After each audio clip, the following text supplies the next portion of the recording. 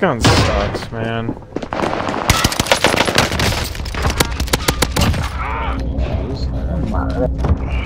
You didn't even hit me. Why am I